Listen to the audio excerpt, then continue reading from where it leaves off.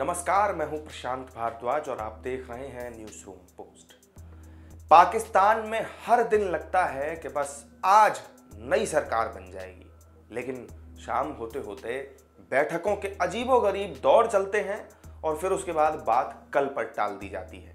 चुनाव हुए पंद्रह दिन हो गए, तब अब कहीं जाकर मोटा माटी पाकिस्तान मुस्लिम लीग नवाज़ और पाकिस्तान पीपुल्स पार्टी के बीच में सरकार बनाने को लेकर कुछ ठोस सहमति तो बन गई लेकिन वो भी अभी तक अमल में नहीं आ पाई है। हमने भी आपको बताया था कि शहबाज शरीफ देश के नए प्रधानमंत्री बनने वाले हैं और आसिफ अली जरदारी राष्ट्रपति का पद संभालेंगे। लेकिन इस सत्ता की जद्दोजहद के बीच इमरान खान की पार्टी पाकिस्तान तहरीक इंसाफ पीएमएलएन और पीपीपी की गठबंधन वाली सरकार को धांधली की सरकार कह रही है।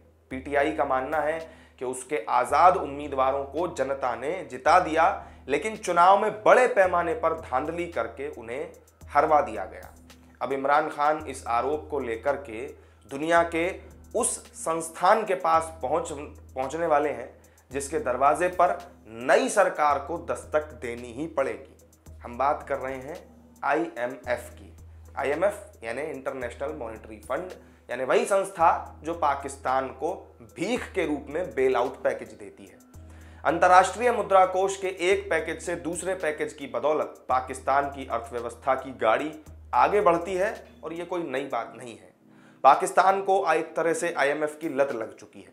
इमरान खान इस बात को बहुत अच्छी तरह से जानते हैं। इमरान फ़िलहाल जेल में बंद है और साइफर से लेकर के तोशा खाना मामले में भी वो सजा काट रहे हैं।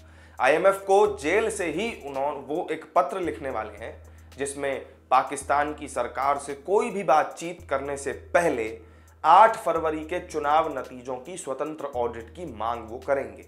बीते साल गर्मियों के दिन थे, जब अंतर्राष्ट्रीय मुद्रा कोष ने एक बेलआउट पैकेज पाकिस्तान के लिए जारी किया था। इसी की बदौलत पड़ोसी देश पाकिस्तान डिफ़ॉल्ट होने से बच गया। लेकिन अब एक अड़चन है। आईएमएफ का कार्यक्रम अगले महीने खत्म होने वाला है और नई सरकार को एक लंबे समय तक अर्थव्यवस्था की बेहतरी के लिए आईएमएफ से एक मुकम्मल बातचीत की दरकार होगी। पाकिस्तान की अर्थव्यवस्था फ़िलहाल साढ़े तीन सौ अरब डॉलर की है, लेकिन वो भयानक महँगाई और विदेशी मुद्रा की कमी से जूझ रहा है। इमरान ने इसी आईएमएफ से गुहार लगाई है कि बातचीत नए सिरे से शुरू हो, उससे पहले चुनाव की ऑडिट होनी चाहिए।